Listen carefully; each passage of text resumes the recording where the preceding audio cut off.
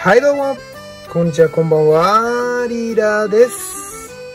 はい。えー、今日はね、あの、もう皆さんもね、お分かりかと思うんですけども、えー、マジックフェスト、えー、名古屋から帰ってきましたということで、今日はね、まあ本当いつもとはちょっと違う、まあ雑談動画というか、まあ感想動画というか、あのまあ紹介動画というか、まあそんな感じでちょっとね、ゆるりとやっていきたいなというふうに思うんですけども、まあね、あの結構言ってたとは思うんですけど、今回、あの、僕に関しては、えー、マジックフェスト3日とも、あの、全部参加させていただいたということで、もう本当にね、もう自分でもびっくりするぐらいね、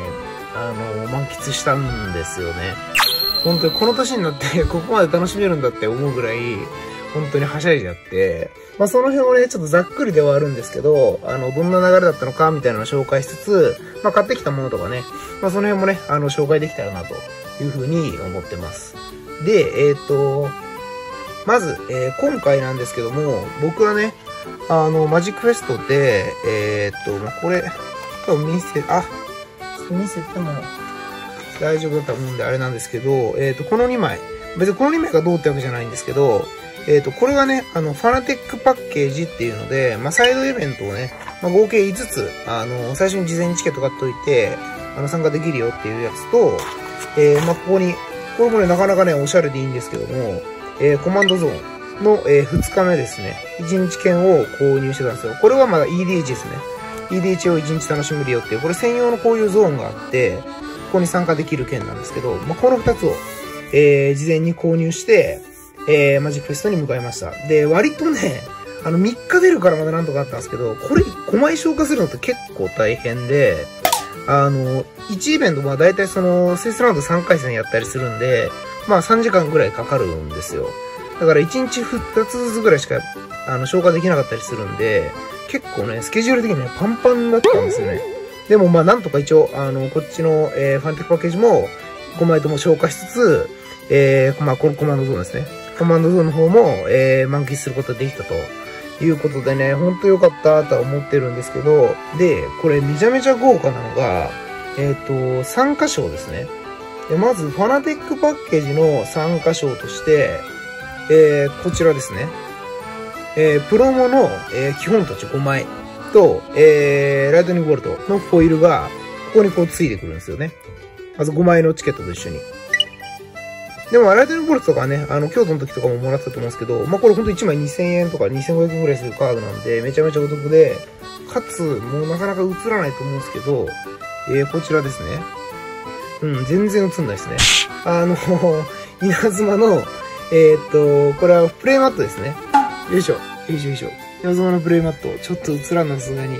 もう、えーっと、これついてくるんですよ。これめちゃめちゃお得なんですよね、このサイドイベントのあの構築済みパッケージって。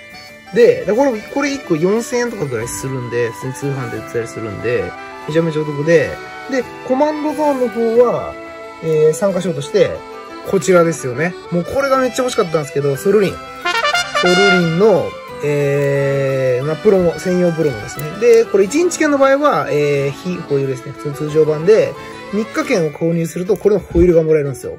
で、これも、えー、ノール版で1枚3500円ぐらいで、えー、ホイールだと、まあ、1万2000円ぐらいするのかな？今ちょっとどんぐらいかわかんないですけど、当時は知ってましたね。っていうことで、もう参加するだけでね、もうアドなんですよ、これ、本当に。あのー、まあ、なんで最近ちょっと僕、あの、昔は本戦結構出てたりしたんですけど、最近はサイドイベントばっかり出てるのはそういうのもちょっとあって、単純にね、この事前予約でこの辺しとくとね、すっげえお得なんですよ。特にこっち。まあ、これは、あの、コマンドやってない方はちょっとあれだったりするんですけど、これはね、本当にお得で、で、昔よりはね、ちょっと実は抑えめになっちゃったりしたんですけど、パックの景品とかのところが。かなりお得ですね、事前に予約しとくのが。っていうような感じで、えーっと、実際ね、で、あの、1日目からの、あの、流れをちょっと追っていくと、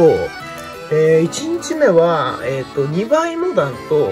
えー、2倍レガシーですかね。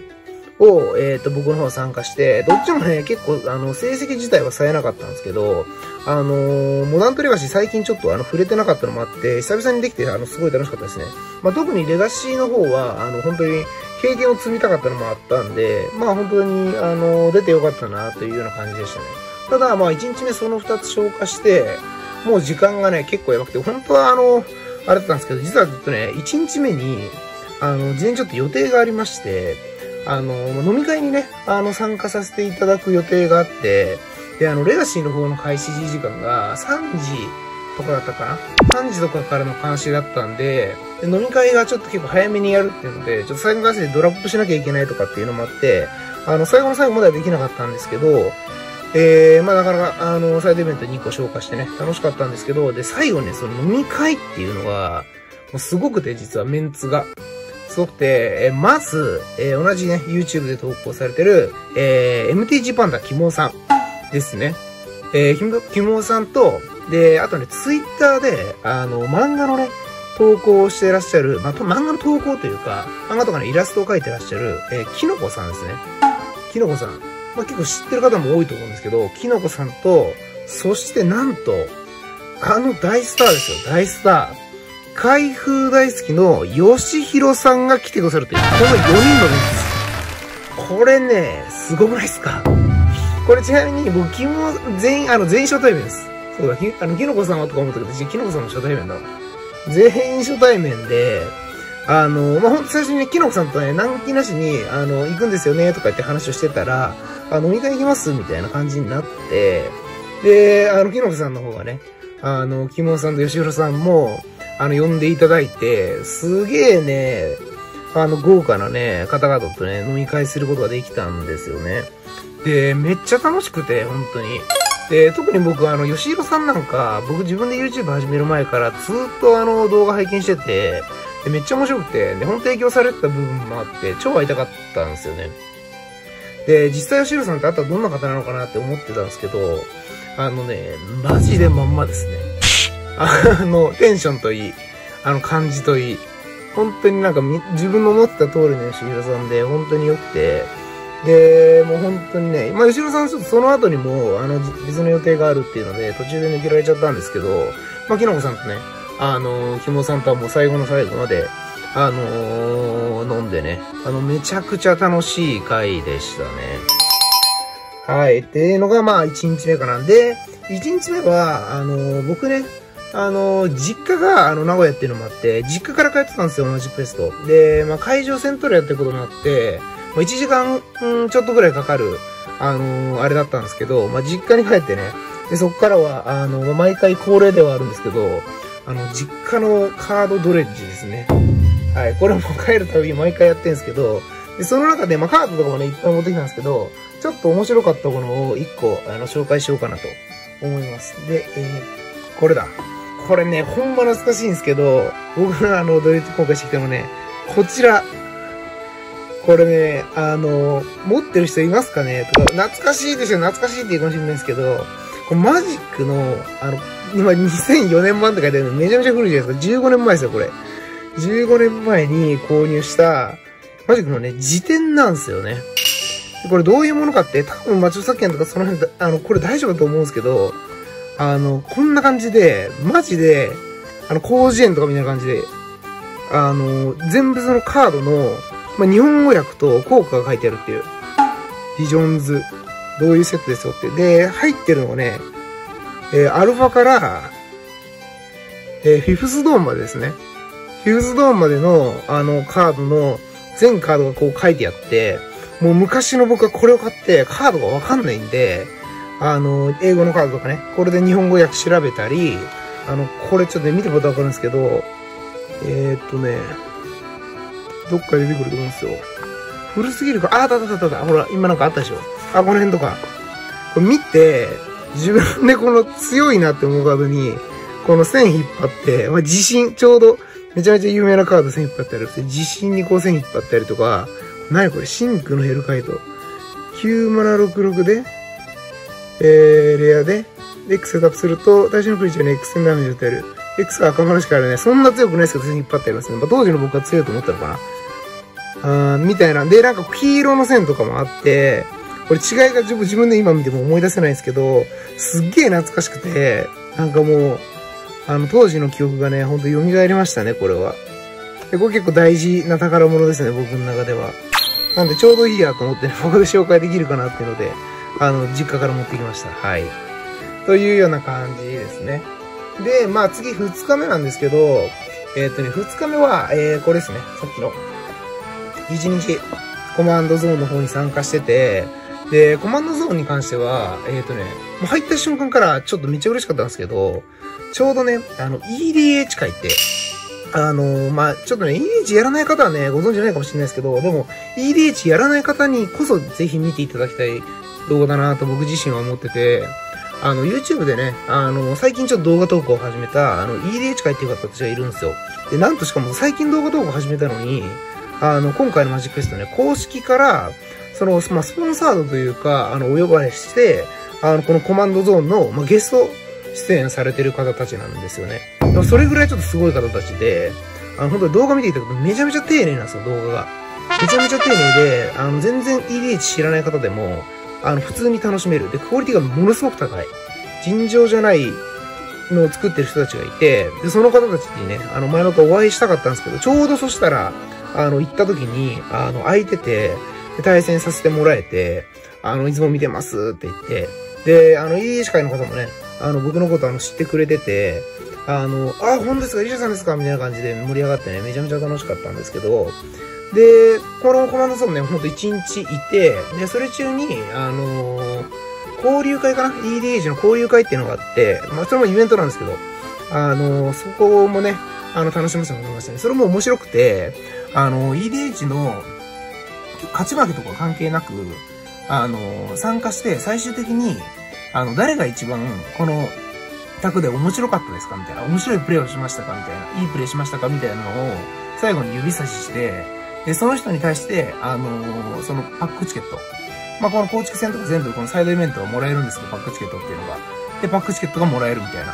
結構面白いね、あのカジュアルイベントがあって、それに参加してましたね。で、えっ、ー、と、もうそこで1日リーチを満喫して、で、その後に、えっ、と、そうか、2日目はもう帰ろうかなっていうところで、ちょうどね、あの、トマッピーさんに、あの、お会いして、あの、ご挨拶をさせてもらいながら、あのえー、じゃあ、今帰ろうかなと思ってんすよね、みたいな話をしたら、ちょうどあの、吉野さんの、なんか、あの、飲み会を、あの、二日目にされてて、で、それ行く？みたいな、あの、声掛けいただいて、ああ、本当ですか？って、じゃ行きます？みたいなこと言ってたんですけど、ちょっと時間が時間でね、もう、あの、着く頃には10時とかになってて、僕ちょ終電がその名古屋だったんで、あの、あったんで、なかなかその時間がないっていうのでね、あの、途中でちょっとあの、あ、やっぱりちょっとやめときますっていうので、あの、遠慮させてもらったんですけど、あの、声かけていただいたのはありがたかったんですけど、まあ、参加したかったんですけどね、ちょっと、この辺止まったらよかったんですけど、っていうような、まあ、感じでしたね。で、まあ、最後、3日目なんですけど、3日目に関しては、残りのね、えっ、ー、と、だから1か、1日目でこれ2枚消化して、で、2日目のその交流会ってイベント、これに関してもこれ使えたんですよ。だから3つ消化して、で、あと2つか。で、あと2つをま消化するというので、3日目は結構楽しみにしてて、3日目は、えー、っと、モダンのイベント、まあ、2倍モダンっていうイベントなんですけど、勝ったらね、パックがあの2倍になるってやつを参加しつつ、えー、午後からね、フルホイラーモダンっていう、要は、まあ、モダンのデッキでフルホイールにしてないと、あの、出場できないよっていうね、なかなか狭き門の、あの、イベントがあって、で、それをね、あの、前にもちょっと紹介させてもらったと思うんですけど、あの、フルホイール、あの、モダン作ったので、ご紹介、あの、参加したいなと思ってね、参加させてもらったんですよね。で、えー、っとね、フ ルホルモダもね、あの、ほんと面白かったんですけど、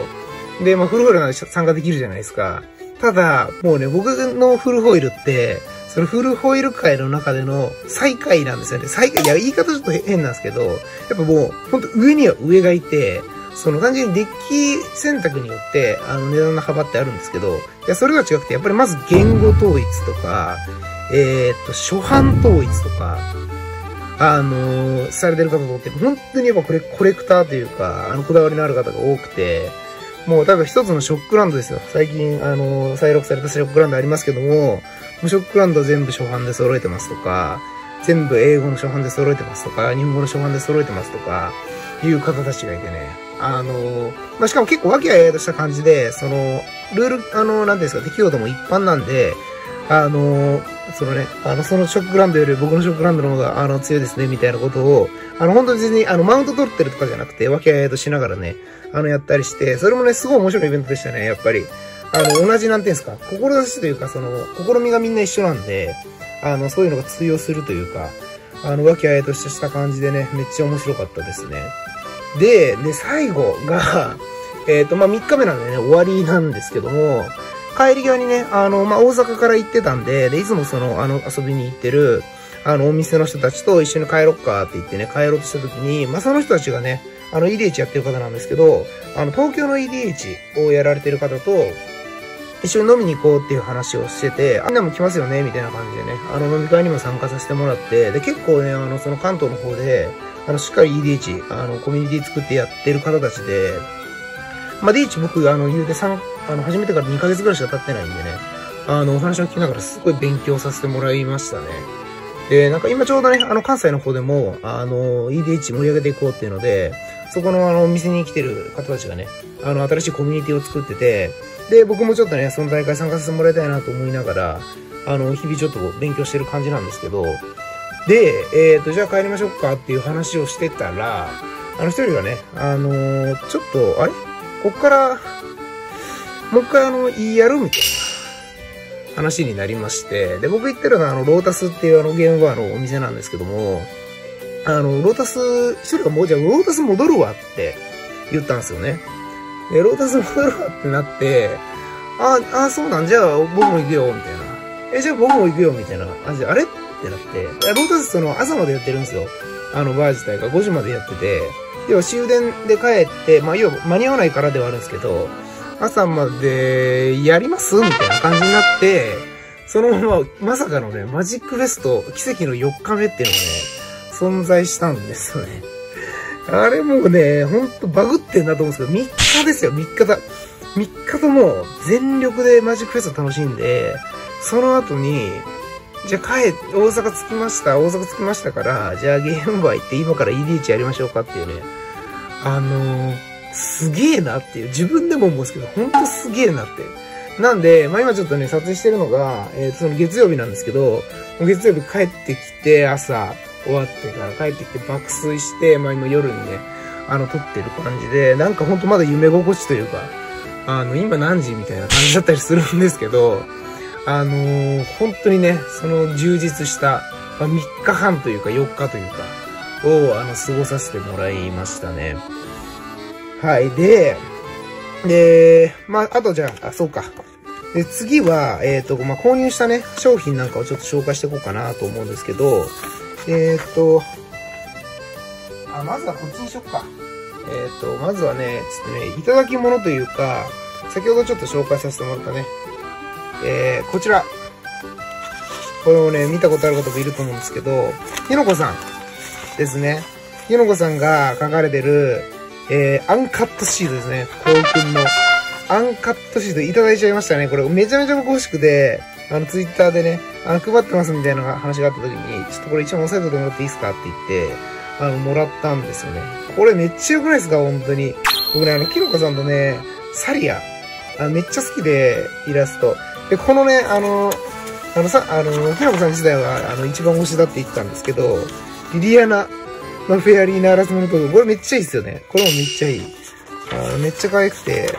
あの、本当に使わせてもらいますっていうので、ありがとうございますっていう感じでいただきましたね、これも。で、えっ、と、次は、あ、そう、あ、飲み会こそ行けなかったんですけど、えー、こちら、トランプルさん。いやー、もう本当にね、お会いできてよかった。トランプルさんとは、えっ、とね、3日目に、あの、ようやくお会いできたんですけど、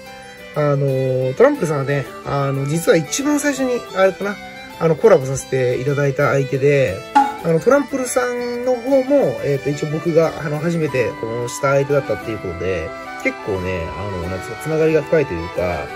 あの、お互いにね、ちょっと実際に会ったことはなかったんで、会いたいですね、みたいな話をしてて、ちょうどマジックフェスト来られるっていうことで、あの、ようやく、あの、3日目にお会いできましたね。で、あの、こちらね、かわいすぎ可愛いんですけど、これもツイッターでね、あの、紹介されてたんですけど、えー、おこの、サンサン、えー、エルドトークンですね。と、えー、フードトークンを、これ自作されたみたいで、これはあれかな？えっ、ー、と、あ、テンさんが書いたんですね。で、テンさんも来られて、テンさん、アレンさん、えー、有丸さんですね。で3人で来られてて、あの、こちらいただきましたね。で、3人ともあの、本戦参加してたりとか、で、サイドイベントもね、あの、ガチガチ、なんならね、このテンさんがね、テンさん女性の方なんですけど、テンさんがサイドイベント3-0したとかで、めちゃめちゃ強いプレイヤーだったりするんですよね。で、めっちゃ話盛り上がって、で、そう、最後に、あの、ツイッターとかでもちょっと上げてたんですけど、ための最後にね、せっかくだからっていうのでね、一回あの、くじですね。くじ引こうっていうので、1000円くじをみんなで引いて、僕は、えー、もやぎのコラスでしたね。で、2分の1のあの、山くじみたいなやつだったんですけど、2分の1の山くじで、で、アレンさんかな？えー、アレンさんだけは残念ながら山だったんですけど、他3人は一応当たりを引けるっていうね、なかなか 2, 2分1以上のあの引きをできたりとか、あの、すごい楽しめましたね。で、あとは、えっ、ー、と、こちら、いただき物ですね。はい。おー、なんと、用具もスビルと、あとこのウロノゲ、僕、このカード初めて見たんですけども、こちらちょっと、あのー、いただきました。で、誰からいただいたかというとですね、こちらが、あの、ボンゴレさんですね。あの、ボンゴレさんね、以前から、あの、僕の動画見てくださってて、で、コメントもしてくださってるんですけど、えー、ちょうどね、マジクエスト来られてるっていうので、あの、初めてね、あのー、お会いできたんですよね。で、あの、ボンゴレさんは、えっ、ー、と、僕が、まあ、初めてそのプレゼントですね、を僕にいただいて、で、それも動画にさせていただいたと思うんですけども、っていうのもあって、あのちょっとね、あの、会ってお礼をしたかったっていうのもあったんですけど、さらにちょっといただき物をいただいてしまうというね、あの、本当にありがとうございますという感じなんですけど、でもちょ、あの、実際にね、お会いしてあの、お礼が言えてよかったなと思います。本当にありがとうございます。これからもよろしくお願いします。はい。というような感じですね。で、じゃあ、あの、購入したものに行きましょうか。あ、とあれか。いや、今回なんか、あの、なかなかちょっとグダグダした喋り、ザーザーになっちゃってるんですけど、ちょっと眠さとね、実際ちょっとあの、さっき起きたばっかだったりもしてて、ちょっとグダグダしてるんですけど、えー、今回の一応戦果ですね。要は、えー、イベントに出て、それでもらえるパックですね。あの、とかの戦果が、こちらですね。はい。同窓対戦1ボックス獲得してきました。これはね、えっ、ー、と、ほんとね、ぴったり。ぴったりでした。ぴったり、いや、36パック分、あのー、イベントで出て、チケットがもらえて、あの、ボックスに一つね。いや、本当にボックスで購入、あの、変えてもらいたかったんで、ちょうど36パック欲しいなと思ってたんで、ちょうど36パック取れたんで、で、ボックス別に何でも選べたんですけど、これあの、僕的にあの、開けるつもりがなくて、あの、そのまま取っときたかったんで、だったら灯争大戦かなーっていうので、あの、エルドレインでもよかったんですけどね。まあ、エルドレインちょっとあの、この後禁止カードとかで色々あったりするんで、まあ、とりあえず、あの、持っときゃ硬いだろうっていうね、あの、日本語の闘争対戦のボックスをゲットできました。だからすごいんですよ。あの、さっきの3箇所ですら、ほぼほぼ、この辺でもトントンになってるんですよ。もらえるカードと、あの、プレイマットだけで。にもかかわらず、これもらえるんですよ。プラスで。前のその前回の京都の時も言ったと思うんですけど、もうだすげえ熱くて、これ、本当に、このイベント。でもぜひね、皆さんもマジックエスト来て、あのまあ、本戦はちょっときついなっていう方でも、サイドイベントだったらもっと楽しめると思うんで、ぜひ、あの、来てほしいですね。っていう感じです。はい。で、次が、ここからついに購入したもの行きましょうか。はい。じゃあ、まず購入したものの、えー、まず一部ですね。えー、それが、こちらですね。はい。もう毎回恒例には、えー、なりつつあるんですが、えー、アーティストですね。アーティストの、え、イラストプリント。もうこれもね、一つ僕の中ですごい楽しみで、今回は、えー、RK ポードさんと、えー、ヨハネスボスさん。で、僕、あの、これ、あ、まあ、これ後で言うか。ヨハネスボスさんはちょっと後にしよう。で、これはね、あの、RK ボードさんのイラストプリントを購入させてもらったんですけど、これはね、うつろの手のこぎ手っていうカードで、もう当時めちゃくちゃ強くて使ってたオル族のカードですね。出た時に、あの、こいつが場を離れるまで、あの、反動追放できるって2マナ2のクリーチャーでめっちゃ強いんですよね、これ。で、めっちゃイラストも好きだったんで、これ購入しましたね。で、まだまだいっぱいあるんですけども、お、次こっちか。えー、これバックローかな？アンマスク。えー、これも黒の、あの、あれですね、ピッチスペルで打てる、あのー、カードですね。この、まあ、あれかな？メルカディアンマスクスとかのカードと思うんですけど、これあの好きな方結構多いんじゃないかなと思うんですけど、これと、あとこれ、悲哀の化身かな？えー、悲哀の化身。これは、ど、悲哀の化身っていつぐらいだったっけ？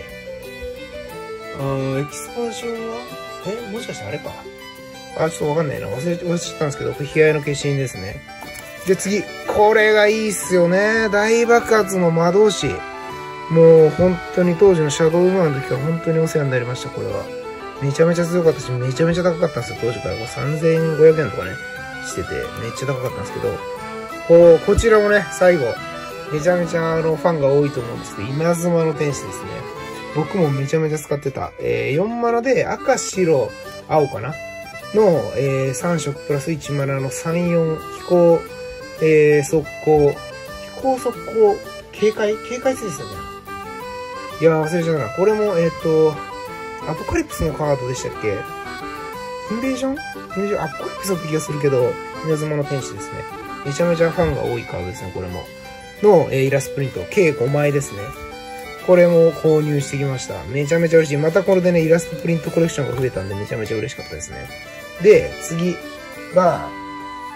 えー、ヨハネスボスさん。ヨハネスボスさんに関しては、僕、前々からね、動画で言ってて、めちゃめちゃ会いたかっ、会いたくて、あの、めっちゃファンなんですけど、あのー、以前にね、えー、横浜かな、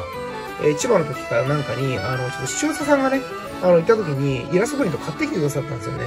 なんで、あのー、今回は、えー、それとは別のイラストプリントを購入してきました。それが、こちらですね。もう早速ね、これあの、額縁にちょっと入れてるんですけど、やばくないですか？この存在感。サリアですね。はい。ニマナサリアなんですけど、もうめちゃめちゃかっこいい。マジで。非常にかっこいいですね、これ。やばい。で、ちなみにもう一枚買ったんですけど、はい。石鍛冶ですね。うわ、これ動画映えするな。本当に。めっちゃ綺麗。動画越してもわかるわ。石鍛冶の、えー、ヨハネス・ボスタンバージョン。これだから GP プロのバージョンですね。を購入しました。で、あとは、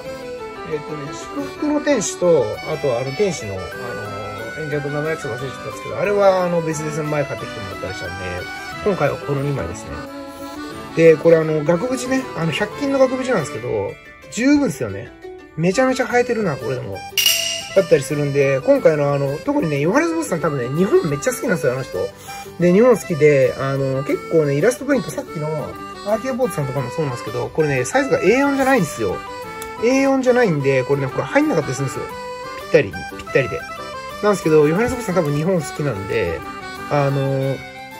A4 サイズでちゃんと作ってくれたりしてるんで、めちゃめちゃ、あの、飾りやすいですね。多分あの、他の海外のね、方とかも、あんまり、え、え、海外って A4 のサイズがサイズ違うんで、ちょっと、あの、入んなかったりするんですけど、これははい、ぴったり入るとね、めちゃめちゃありがたい。という感じでした。今回はイラスト、あの、アーティスト系はこれですね。で、えー、まあ皆さんお待ちかねの、えー、購入したカードシリーズなんですが、えー、購入したカードシリーズに関してはね、今回全然、また枚数はね、購入してないです。まず、あの、サラット系なんですけど、はい。こちら、沼ですね。まあ、最後ちょっと沼じゃなく入ってるんですけど、えー、アングルード。アングルードの沼ですね。これ1枚350円っていう価格で、めちゃめちゃとりあえず安くて、で、最近ね、僕的にアンヒンジドのあの、イラストがすごい好きだったんですけど、あの、EDG でね、このアングルド系のやつ使ってて、ちょっとね、結構、お、これやっぱいいな、みたいな感じで、結構ハマってんすよね。で、350円だったんで、これ多分1枚普通だったら多分500円は絶対しますし、600円くらいしてもおかしくないんで、これは安いっていうので買いましたね。で、あとはまあこれ超次元レンズはあの使う用なんですけど、あの、これも安かったんで購入しましたね。EDH 用です。はい、っていう感じで、よいしょ。で、もう次からがね、なんとね、一気にね、超特大カードになっちゃって、でも、一応あれなんですよね、ちょっと迷ってんですけど、あのー、投資結果報告があるんで、あの、投資結果報告のためのちょっと取っときたいもする。取っときたい部分もあるんで、1枚だけ、あの、3枚ね、ちょっとあるんですよ。これ。購入したカードが3枚あって、まあちょっとこのスリーブあれでちょっと、あの、申し訳ないんですけど、これだけちょっと紹介しようかなと。この2枚に関しては、投資結果報告に紹介しようかなと思います。で、ちなみになんですけど、厳密に、厳密にというか言うと、あの、投資結果報告はね、あの、今回購入したのが11月のあの購入分なんで、えっ、ー、と、この後におそらく、えっ、ー、と、10月の投資結果報告が上がると思うんですけど、そっちでは申し訳ないですけど、紹介できないです。あの、ちょっとラグっちゃうんですけど、そこ、あのね、最後、最後までお待ちいただければなと思います。じゃあ、これだけ、1枚だけちょっと紹介しようかなと思うんですけど、これもね、なかなかです。なかなかのカードを購入したんですけど、それが、こちらです。はい。魔力の墓所、エターナルマスターズ日本語ホイールということで、えー、これは日本語の、えー、魔力の場所のホイールの初版ですね。になります。その、もともと日本語がまず出たの初めてなのが、エターナルマスターズなんで、で、ホイールが今までなくて、これ出た時にホイールだと。英語版だとあの、ジャッジ報奨のね、やつがあったりするんですけど、日本語はこれだけなんですよね。っていうので、めちゃめちゃ高くて、このカード。めちゃめちゃ高かったんですけど、その、うろうろしてたらね、結構安くて、それちょっとこれ、一回ちょっと、一回落ち着こうってなったんですけど、もう気づいた時には買ってましたね。で、気になるお値段なんですが、こちら1枚で29,500円です。はい。めちゃめちゃ高い、めちゃめちゃ高いんですけど、あのー、普段の相場からするとマジで安くて、あのー、なんならね、多分、平均したら4万とかするかもしれないです、下手したら。うん、多分する、相場4万ぐらいです。で、だあの、買ったの実際ドラサさんなんですけど、ドラサさんって、あの、グランプリ行ってる時に、あの、その場で買い取りしたやつを、その場で安く出してくれるんですよね。で、それで、これあの、買い取りをしてて、買い取りしたものを安く、で、もともとは確かね、値付け、裏に、値段ついてたんですけど、3万5千円とかだったんですよね。3万5千円とかのやつが、えー、2万9500円になってて、で、かつ、あの、ドラスタンって基本的に、あの、店舗とか通販だと、あの、税抜き表示なんですけど、あの、多分、税抜き表示の価格が載ってるんですけど、今回のグランプリではその税抜き表示を税込み価格にしてたんですよね。で、それ用にあの、多分値段変えてないんで、単純に10%オフだったんですよ。だから3万5千円の10%と考えたらやっぱ3万8500円なんで、3万8500円が今回税込みで29,800円で買えたと。いうことで、めちゃめちゃお得な買い物が来て、で、これも今 EDH やってるんで、あの、前回ね、あんま買いたくないっすみたいなことをね、前回とかあの、だいぶ前のね、注目カードランキングで言ってたんですけど、もうこれはね、あの、本当に必須カードなんで、EDH やる上では。で、かつ、えー、初版の日本語ホイールということで、これ値崩れマジで絶対しないと思うんで、もし再録されてもね。なんで、これは買いだろうと思ってね、購入しましたね。いやー、これはいい。これはいいものを買ったと思います。で、じゃあ、これはいいもので2万9500円なんですけど、まあね、ちょっと期待だけ煽るようで申し訳ないんですが、この2枚は、もちろん、これよりも高いカードです。はい。なんでね、これはあの、11月の投資結果報告を楽しみにしていただければなというふうに思います。はい。というわけで、もう長々とね、あの、ひたすら喋ってはきたんですけども、という感じで、もうね、本当に充実しましたね。本当に充実させてもらったんですけど、で、そのね、充実させてもらった中には、あの、今までにはなかった、本当にね、大きな要素っていうのが一つあって、で、それがね、あの、ものすごく多くの方から、あの、お声掛けいただけたんですよね。あの、僕って、あの、えー、まあ、ともはるさんとね、ともはっぴーさんと、あの、コラボさせていただくまでは、あの、顔出ししてなくて、あの、顔出ししてない状態でずっと動画投稿してたんで、まあ、声だけっていうような状態だったんですけど、まあ、あの、ともはるさんとの動画ね、あの、完全にではないんですけども、まあ、半顔出しという形でやらせていただいて、た、まあ、影響もあって、あの、本当にね、多くの方からお声掛けいただいて、なんかもう、すごい、とにかく嬉しかったですね。あの、な、す、本当にね、なんて言ったらいいんですかね。あの、今までなんかつったその、前のその京都に行ってた時とかは、あのなんで、あの、まだ投稿し、その時してなかったんで、あの、顔出しでね。あの、まあ、もしかしたら誰かに声かけられることあるのかなと、声だけで、と思ったんですけど、さすがにもう誰も声はかけられなかったんですけど、もうね、今回何人ぐらいに声かけてもらえたかな。多分ほんと普通の方もこれ30人、30人ぐらいかな。30人ぐらいの方から声かけてもらえて、あの、本当になんか、やっててよかったなってやっぱ思ったんですよね。あの、動画投稿自体もそうですし、あの時、まあ正直ね、その半顔出しではあるんですけど、まあ割とちょっとその、なんですか、勇気のいることというか、まあこのネット社会の中で、あの、顔がね、今見バレするというか、いうのは、まあちょっとリスクもあったりすることではあって、僕自身もちょっとね、最初決断としては迷ったところではあるんですけど、まあ今ちょっとまだ理由はあって、ちょっとあの、完全顔としてはできないんですけど、やっぱりその、あの、みんなにね、あの、分かってもらえるように顔出しして本当良かったなっていうふうに思いましたんで、改めて、その、お声掛けいただいた方たち、本当にね、本当にありがとうございました。で、ちょっと僕もね、あの、ちょっとは、なんていうんですか、そう、あんま慣れないもんですから、あの、なかなかちょっと反応がね、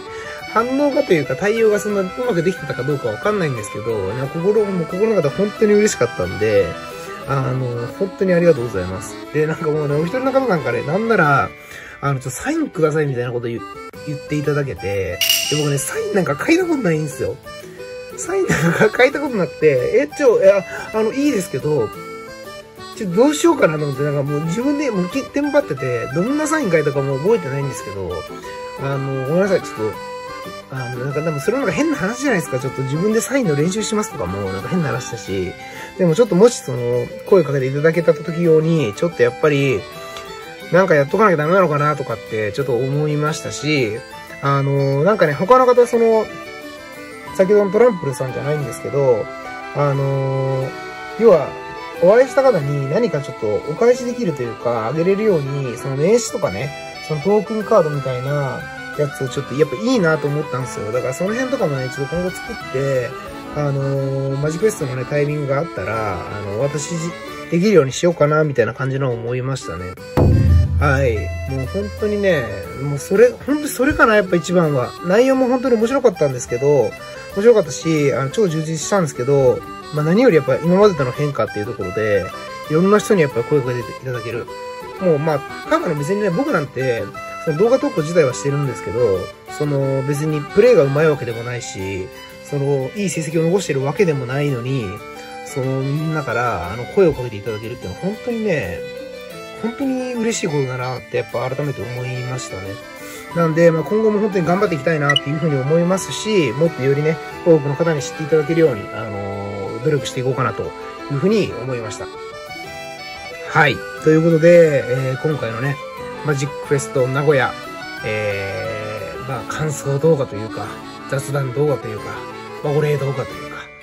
に関しては、えー、ここまでになります。はい。では、えー、最後までご視聴ありがとうございました。えー、この動画が良ければ、えー、チャンネル登録、高評価、コメントの方もよろしくお願いいたします。じゃあね、バイバーイ